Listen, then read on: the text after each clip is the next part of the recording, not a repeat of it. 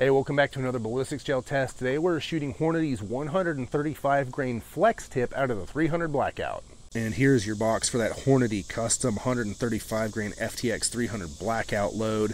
There is your velocity information right there. Let's go ahead and open it up. Take a look at the bullets themselves. Brass is nice and clean looking. Pull one out, take a look. There it is. There's your flex tip right there. Good looking stuff. Let's see how it does. And my test rifle today is my Ruger American Ranch, chambered in 300 blackout, of course. It's got a 16 inch barrel up top. I've got a Vortex Crossfire 2 scope. And coming on back, I've got one of my 20 round magazine cuffs. Pop that open, you've got a 20 round magazine close at hand. Really helps turn the Ruger American Ranch rifle into the perfect truck gun or camp gun. Coming around to the other side, I've got my wild boar design on there check out my website, masonleather.com. I would absolutely love to make you one. It'll be linked in the description and the pinned comment. We'll be taking three shots from 100 yards, firing into 10% ballistics gel that has been calibrated to meet the FBI's ballistics testing protocol. And while ballistics gel isn't an exact proxy for big game, it does provide a repeatable medium through which to test various bullets and ammo against each other. After the shots, we'll examine bullet expansion, weight retention, penetration, and velocity. My goal is to provide hunters like you and I with the most objective information possible to help us make the best choice for our particular hunting situation. The ballistics gel in this video has been sourced from Clear Ballistics. You can find a link in the description. So let's go ahead and shoot it.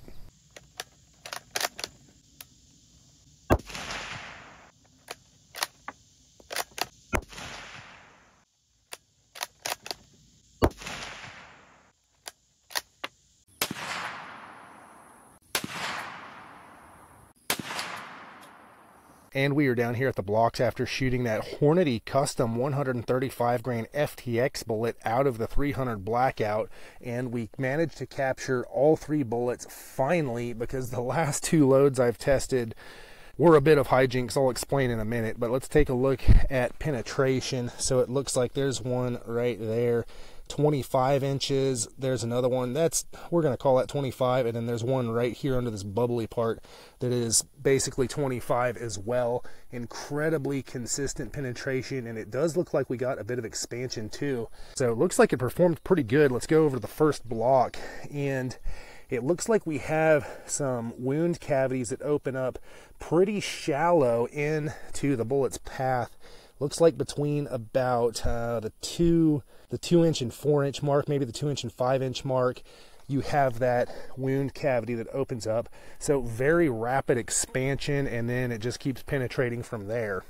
It is a hot one as i record this. But what i mean by um, having some hijinks with some of the 300 blackout loads. So the last two loads that I tested, I had to scrap the videos of because I couldn't capture the bullets. One of them was the Hornady Custom 110 grain CX bullet, which I was really looking forward to seeing, but as best as I can tell, that bullet is just zipping straight on through three entire blocks. As you can see here, I started stacking three blocks for 300 blackout just because of complete lack of expansion and extreme penetration um, trying to catch these bullets with the three blocks instead of my normal two and I just couldn't do it. I fired uh, it 16 rounds of that 110 grain CX bullet and couldn't capture one of them. They they zing out the side of the block. They change their path um, really rapidly, and I still have a plan to try and catch some. I'm going to stack up like 18 blocks on the table and catch some of those things.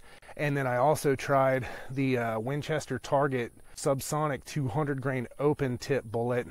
And same thing it seemed like there was no expansion at all and the bullets would just zip right on through three entire blocks. So some hijinks with 300 blackout. It seems to be quite a finicky cartridge in terms of bullet performance. I'm seeing a, a pretty good range of, of performance on impact across the various types of loads that i've tested so far and i've got more to come.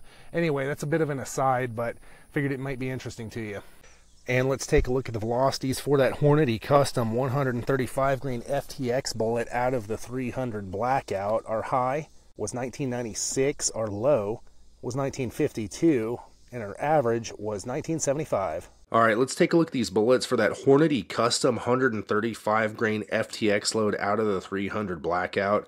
I don't know about you, but I am pleasantly surprised by how these look. We actually got some fairly consistent mushrooming around the entire circumference of these bullets. Not something you see in every 300 Blackout load. So first we're going to go ahead and talk about weight retention. Respectively, we saw 98, 96, and 99 grains of retained weight for an average of 98 grains.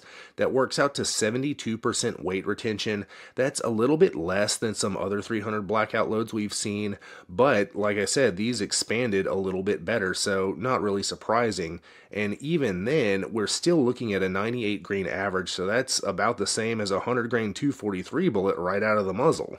And now we'll talk about expansion, respectively. We saw 0.57, 0.60, and 0.56 inches of expansion. Very consistent across the board for all three bullets. That works out to an average of 0.58 inches expanded diameter, and that is 1.9x expansion. And again, the expansion is a lot more consistent than some other loads that I've tested, so I'm actually really, really happy with this. And now on to velocity. So 300 Blackout just isn't a real real barn burner of a cartridge. Our high velocity was 1996. Our low was 1952 for an average of 1975. The build velocity on the box was 2,085 feet per second, so we're coming in 110 feet per second slow. A little bit surprising because a lot of the 300 blackout loads I've tested thus far are a lot closer, if not actually hotter, than the factory stated spec, so we came in a little bit slow here. And now on to penetration. We had incredibly consistent penetration. We saw 25 inches across the board for all three bullets. So, of course, the average is 25 inches. That is really, really good. A lot better than I expected, especially with that expansion and the relatively low velocity. So, I'm very happy with penetration. It is right up there with some of the deeper penetrating 300 blackout loads that I've tested and deeper penetrating than some of the loads I've tested that actually got consistent expansion, which are few and far between. All right, y'all, time for my final thoughts on that Hornady Custom 135 grain FTX load out of the 300 Blackout. Overall, I was actually pleasantly surprised by the results of this test. We had pretty good retained weight, 72%. It's definitely not the highest out of 300 blackout loads I've tested, but what we did get is much more uniform expansion than a lot of other loads. Now, it may not have expanded as much as some, but it was very uniform, meaning when you look at it from the top down, that mushroom is all the way around the circumference of the bullet, whereas some other loads I've tested, it'll have like a prong sticking out here or there. It's not really uniform expansion, so you're not getting as much surface area punching through whatever you're trying to shoot. So expansion wise, weight retention wise, I'm actually really, really happy with this load, and I definitely consider it myself if I was going to hunt with 300 blackout. Moving on to velocity, it kind of is what it is. We were a little bit slow. Some 300 blackout loads actually exceed factory stated velocity. Why that is, I can't really say. Velocity is the last thing that I'm really worried about anyways, especially on sort of a close range cartridge like the 300 Blackout. And then penetration wise, we had excellent penetration, especially considering that big uniform expansion we saw, or at least big for 300 blackout. 25 inches across the board, good expansion, deep penetration, velocity was fine. As far as I'm concerned, this is a contender for hunting if you're going to be hunting with a 300 blackout. It has performed a lot better than some other loads that I've tested. And then for the first time ever, and I'm going to do this in every video going forward, we're going to talk about kinetic energy. It's just another metric that we can look at to help sort of guide our decision. So this ammo, this 135 grain FTX load, I've got my cheat sheet here, with a 135 grain bullet, because that's what's going to hit the target, and an average velocity of 1975, about 7 feet from the muzzle, we're getting 1,169 foot-pounds of kinetic energy right there just past the muzzle of the rifle. So down at 100 yards, it's going to be somewhat lower than that. So what does that tell us? Well, the long-standing sort of norm for acceptable medium game hunting cartridges is 1,000 foot-pounds of energy. Now, make of that what you will. Some people don't really believe in kinetic energy. Some people don't think it really means that much. But if nothing else, it's a metric that we can use to compare different loads to each other. And 1169 foot pounds really isn't that much. If we're going to use the old standard of 1000 foot pounds for a deer, we're right there at the muzzle at 100 yards, at 50 yards. We're probably going to be right at a 1,000, if not below.